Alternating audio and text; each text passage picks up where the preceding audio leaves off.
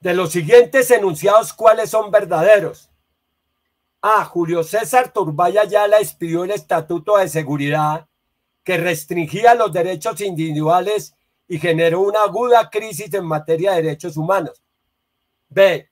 Belisario Betancourt desarrolló los diálogos de la Uribe, de los cuales surge la iniciativa de ampliar el espacio de la democracia para la participación de la urgencia que dio origen a la Unión Patriótica. C. Durante la década de los 80 se desarrolló la Guerra Sucia, en el que el paramilitarismo, en connivencia con la fuerza pública, generó el genocidio de la Unión Patriótica. D. Todas las anteriores son verdaderas. E. Solo A y B son verdaderas.